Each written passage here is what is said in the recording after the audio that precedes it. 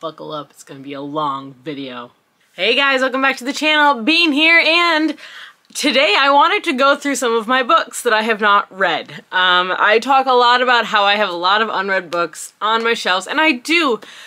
I have noticed that the majority of them are are series. They're actual like full-length series. Like this entire pile, except for one book, is a series of books. I've got like all these are different series. It's, so I went through and took off the majority, not all of, um, the standalone books that I still really do want to read. And so I'm going to go through some of them with you today.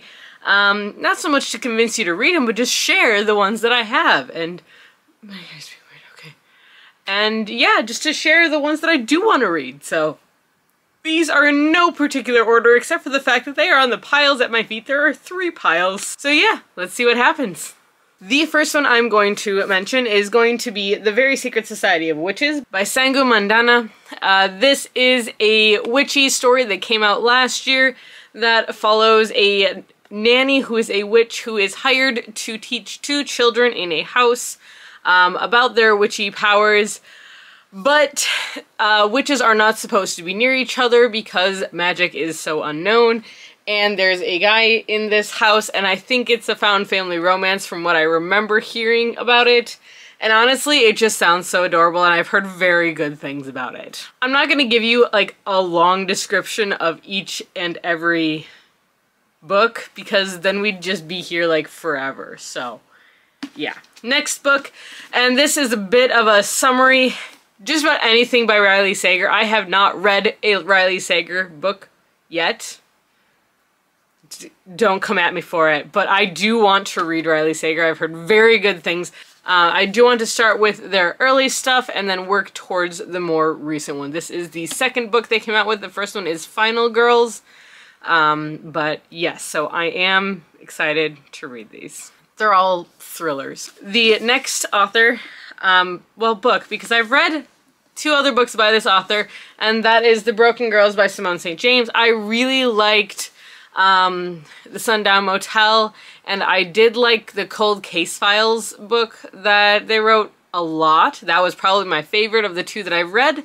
Um, it's a, they're a mystery thriller writer. Um, and I actually don't know what this one is about, but I assume that there's a haunted house or something of the sort. I don't know, but I'm still very, very intrigued. Next, I actually have a book that I got in a book box, and that is The Sleepless by Victor Manibo. I'm like 98% sure this is a standalone. I didn't actually look, but this is um, basically kind of a speculative, speculative uh, pandemic book uh, that approaches what if a quarter of the population ended up with a disease that caused them to no longer need to sleep. Um, I'm curious, I'm intrigued. This book is really cool looking, so I'm very intrigued by it. Um, and it came in one of the unplugged boxes this year, so I'm very excited. Alright, this one is one that I am intrigued by. I haven't heard much about, and that is All the Murmuring Bones by A.G. Slatter. I picked this one up on a whim last year at some point because all I read was this is a goth mermaid story, and I went, sign me up, I'm intrigued. So a family has uh, basically made a deal with mermaids in order to ensure safe passage for their ships by promising a child from each generation to the mermaids.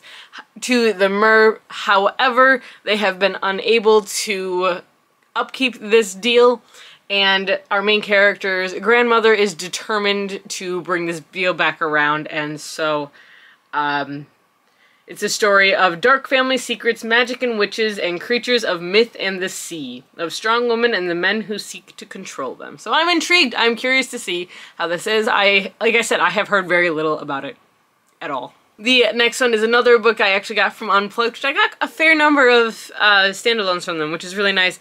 And that is The Summoning by J.P. Smith. Uh, this is a uh, story about a a necromancer or someone who can speak with the dead who I think finds out she has slight necromantic powers or necrotic powers, which intrigued. It has to do with 9-11 and say she holds seances and I'm intrigued by this concept. It sounds very witchy. Um, I have not actually heard anything about this book before either, so I'm very intrigued by a lot of these books that I'm not hearing anything about. Because that's what I want to read, is what no one else reads. I'm weird, I don't know. Um, switching over to a romance, I do want to read Sim uh, Simmer Down by Sarah Smith. This is a food truck romance, which honestly, right there, I'm intrigued. I love food romances for some reason. I just think that they're so sweet and there's so much fun because food, um, especially in my current relationship, food is uh, a way that we express that we love each other. Is like we make each other food. It's, that's how you make each other happy. It's a love language for us, if you will. And so I love that concept. It, it hits home for me. I love it. So I'm intrigued to actually read about it. So the next book, I don't actually know what it's about, which is interesting because I was super excited for this book, and I'm still very excited for this book, but I don't know what it's about. And that is Song of Song of Silver Flame Like Night by Amelia Wen Zhao. Dragons is all I know. I really, I, I feel like I knew when I first looked at this book and I have since forgotten. And I feel like whenever I hear anyone else talk about it, they never talk about what it's actually about. It's a little bit of a longer book, but it's about the same length as her other series, um, as the other books in her, um, the Blood, the Blood Heir series, the Blood Heir trilogy. So I do want to read this, and I'm 98% sure again that it's standalone. Alright, this next book, I all I know about it is I believe that this is a Peter Pan retelling. It is Lost in the Neverwoods by Aiden Thomas. I read the other Aiden Thomas book, Cemetery Boys, and absolutely loved it. It was a great story. I really enjoyed it. And so I want to read another book by them. So this is their other book. um, and I believe it has to do with Peter Pan, but that's all I know. I, I'm going into these blind. This is kind of what I like to do. Alright, getting back into some books that I used to read a long time ago. I like my heist books, and it's been a long time since I've read a heist book. And so I do want to read The Harlem Shuffle by Colson Whitehead. This, all I know is it's a heist book, and it's been recommended to me by like three different coworkers, so apparently now I really need to read it. The next one I have is actually mostly a um, an, an author by. I read a book by this author and now I want to read everything that they have written and that is The Last Chance Library by Freya Sampson. I read The Lost Ticket by Freya Sampson and absolutely devoured that book. It was so cute, it was so sweet, and I do want to get more into some literary fiction, some kind of not so focused on romance all the time, not so focused on fantasy and, and, mystery, but just kind of almost slice of life every once in a while. They are kind of refreshing and a good palate cleanser for me. So I do want to read this one, especially when they're really sweet stories. So I have high hopes. All right, next I have on this list is I have Nettle and Bone by T. Kingfisher. Honestly, I would like to read a lot more of T. Kingfisher's work. I've read two books by them, I believe now. Um, I read What Moves the Dead last year, and then I read The Hollow Places, I believe. The Hollow Place, something like that, um, by them a year or two before. And I absolutely devoured them. They are creepy, they are great stories, and this is about a character who does not want to be a hero and actively does is trying not to be and ends up having to be a hero anyways and has to do these weird things like uh, seemingly impossible tasks build a dog of bones sew a cloak of nettles and capture moonlight in a jar. So um, i'm intrigued. It's a short book. All of their books are short and they're but they're so good. They do it, so much happens in a short period of time. It's great. I love it Alright, going off of the literary fiction, a book that I've actually had on my shelves for quite a while is A Gentleman in Moscow by Amor Towles. Um, I don't really know a lot about this book. I'm not gonna lie. Hold on. Alright, so this is a historical fiction book that takes place in the early 1900s, 1922, and it follows a count who is put on house arrest at a fancy hotel and basically about being being stuck at this hotel. He ends up making a lot of friends and meeting not maybe not making friends isn't the right way to put it. And he ends up meeting a lot of people in this hotel and learning about their lives and how he impacts them. And he ends up having to save a little girl and um, kind of the repercussions of that and what he ends up having to work through and his past and all of that. This has been a very popular book for a very long time um, at the library And honestly, I'm more just curious about it than anything else. I want, I would like to, like I said, I'd like to get more into some literary fiction, and this is always one of the top ones on the list to read, so we'll see. For historical fiction, we'll see.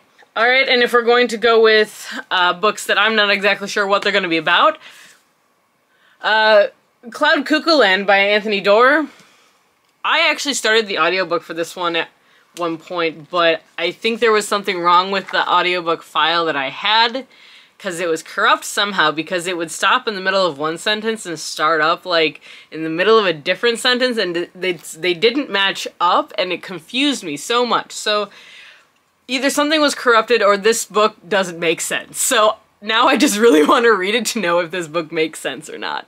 I don't know what it's about. I just know it's it's huge. It's an epic it's an epic book. I do I do know that this has to do with historical documents. That's what I know and multiple POVs, multiple timelines kind of thing as well. So that always can get a little a little hairy if it's not quite done in the best way, but I've heard excellent things about the book, so we'll see. So the next book that I have is one that I'm very curious about. Um, the tagline is Meet the Cure for the Human Disease, and that is Leech by Hiron Ennes. Um? I'm sorry. Uh, but this is compared to Wuthering Heights but with worms, which has me very confused. I did not enjoy Wuthering Heights, but the tagline has me curious, and this was actually recommended on a podcast I listened to at one point. Um, but this was a while ago, and I actually got this book on discount because it's damaged. So that was cool.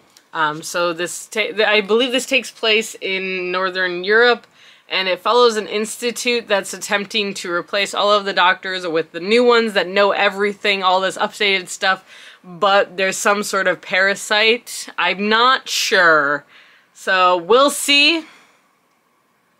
I'm not sure how it relates to Wuthering Heights which is just all about emotional abuse. So we'll see. I did not like Wuthering Heights, guys. I'm sorry. uh, so the next book that I have is by an author that I was recommended when I first started getting into thrillers, and that's D um, Darcy Coates, and this is House of Shadows. Uh, this is a haunted house story about a girl whose family falls into ruin and she's offered a boon when she, when a wealthy man asks for her hand in marriage.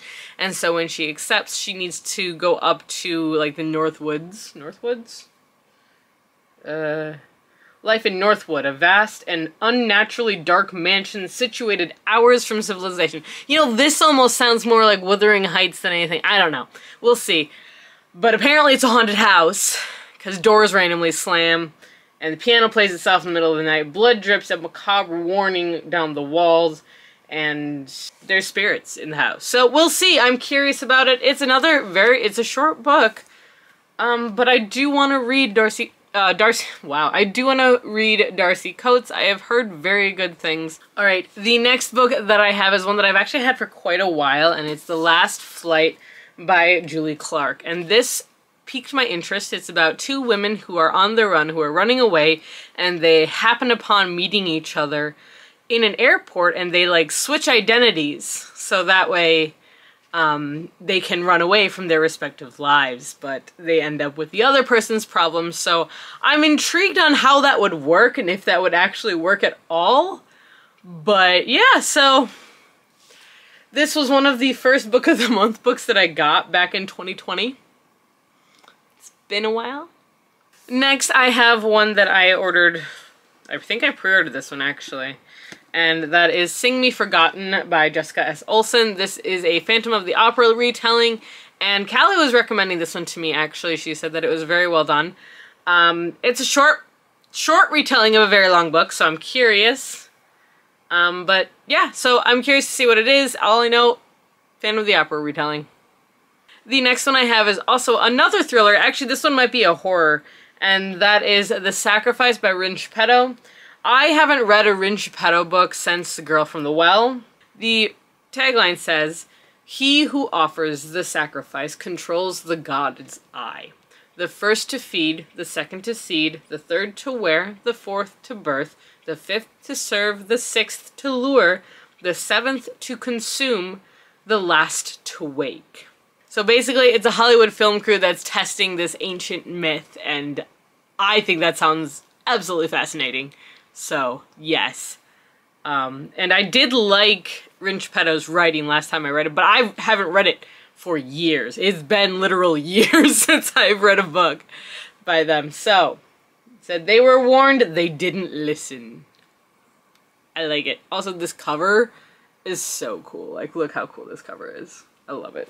All right, another another thriller author that I have been told by multiple people to read is Scott Carson. Now, The Chill is what is a book that I actually picked up on a blind book date.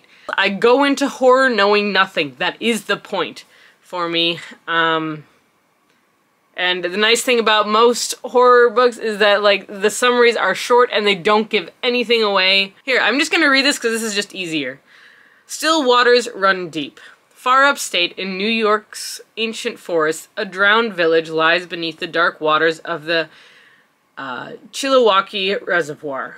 Early in the 20th century, the town was destroyed for the greater good, bringing water to the millions living downstate. Or at least that's what the politicians from Manhattan insisted at the time. The local families settled settled there before settled there since before America's founding were forced from their land, but they didn't move far and some didn't move at all.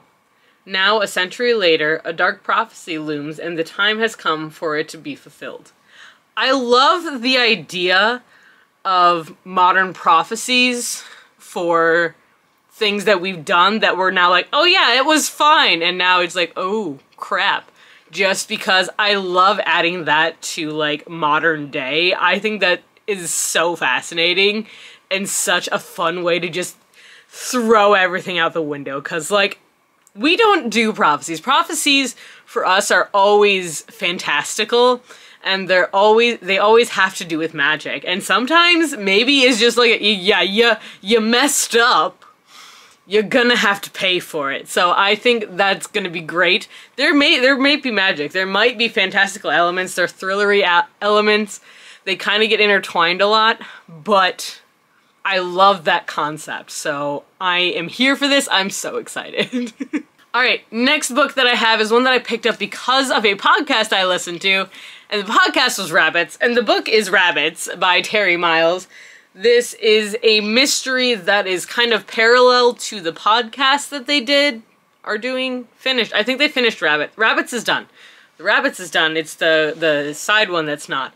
But this is not the podcast. It's a whole different story. Which, if you have read, if you have listened to Rabbits, I don't need to say anymore. If you haven't, if you like speculative horror and you like the whole like kind of found footage kind of stuff and mysteries that don't fully get solved, but there's cults and there's stuff like this, you should listen to the podcast Rabbits. It's not that long, but it is so well done. The next book that I have is one that, again, I've had for this for a while, and that's Romanov by Nadine Brandes. I still haven't read this, and I'm kind of ashamed about that, but I haven't read it. I've had it for a long time. It is a re it is a retelling of the Anastasia Romanov story um, of the Duchess, so... But it's basically... Here, I'll just read you this first line because this is why I want to read this book still. Anastasia Nastya Romanov was given a single mission to smuggle an ancient spell into her suitcase on her way to exile in Siberia. Like, I'm I'm curious now. I'd, I'd like to know what spell she's smuggling and how do you some how do you smuggle a spell? Like, is it just a piece of paper? Is it a bag? Is it a bottle? What is it? I want to know. The next one that I have is one that I've actually started before, and I actually think I got like halfway through this book and I put it down. I, I kind of regret putting it down. That's The Wolf and in the Whale by Jordanna Max Brodsky. This is a mix of Inuit and Norse mythology uh, for a frozen Arctic adventure. And that's all I needed to know, and I was really getting into this book um, I put it down for a long time when I had a reading slump and never picked it up again. I got over halfway through, I want to say, so hopefully I can pick it up and read it again. I'm curious. We're almost there, I promise, guys. The next two are actually just kind of a pair of books that I really just want to read. They're by the same author, and we've got The Night Circus and The Starless Sea by Erin Morgenstern. I have not read either of these, but I want to. I really... hit myself in the face. I do want to read these books. I have heard mixed things about them, depending on the person and depending on the reading style. I have a feeling I'm gonna like them. So I'm excited. I do want to read these very much so. Again, they're fantastical. That's all I know about them. I don't want to know anymore. Going back at the beginning of the video, I talked about food romances that I enjoyed. I should have put these together. I didn't think about it. But When in Rome by Sarah Adams is a newer release, like with the beginning of this year, end of last year, I believe. Um, and it's all about food and restaurants and Rome, Kentucky. I just want to read it. I'm curious. It's food. It's it's food and romance. I, I enjoy this immensely. The next book that I have is one again that I've had for a while. It is a bit of a historical fiction, and that's going to be City of Thieves by David ben Benioff. Um, this takes place during uh, the Nazi siege on Leningrad. So um, and it follows two thieves, actually, as they try to escape. So I am curious. It's not a long read, but I've been told multiple times that this is a very good historical fiction to get into. Next is basically a book that, actually no, this book I got in another book box uh, a while ago. I think this was, I don't remember when I got, I, this one was a while ago. And that is Year of the Reaper, Reaper by Makiia Lucier. This is a Count of Monte Cristo retelling, which is probably one of my favorite classics books ever is the Count of Monte Cristo. Um, and it's it's it's a female retelling of the Count of Monte Cristo, and that's all I needed. And she's got a mace, like she has a mace. Alright, the next book that I have is one that I actually, I'm intrigued to read mostly because I've had I've heard mixed feelings about it, and that is A Lesson in Vengeance by Victoria Lee. This is a dark academia with witchcraft story of someone in high school, I want to say. She's at a boarding school. Yeah, so I'm intrigued. It's a really cool cover, but I don't know. We'll see. I don't know. And the last book that I really do want to read is The Grace Year by Kim Liggett. Kind of sounds a little bit Hunger Games-esque, but all women are believed to have like magical powers that seduce men, and so when they turn 16, they're sent off to try and get rid of that magic, but not everyone comes back. I don't know, I, am intrigued by it, I'm a little confused by it, but I do remember Callie read it and enjoyed it and told me I needed to read it and made me buy it, so I have a copy and I do want to read it. So yes, that's what I got. All right, like as of right now, filming this is almost 30 minutes long. so hopefully this video is not too terribly long. I hope you had a good drink and a snack and all of that. But yeah, if you think I should start any of these or should do like a reading vlog with these, let me know. Because I'm actually trying to do some more reading vlogs. Uh, maybe, we'll see. But yeah, so that's what I got for you guys here today. I hope you enjoyed it. Let me know what books I should read. Let me know some of your guys' favorite standalones or some standalones you're looking forward to or that you want to read. I want to know because sometimes I just don't want to commit to a full series because you know what? Sometimes your girl just don't got time for that. Um, don't got the commitment for that all the time. Some days, yes. Other days, just no. So, yeah that's what I got for you guys here today. I hope you enjoyed. If you did, give this video a thumbs up, hit the subscribe button down below, and comment. I'd love to hear your thoughts. And until next time, stay safe, stay healthy, and keep reading. Bye!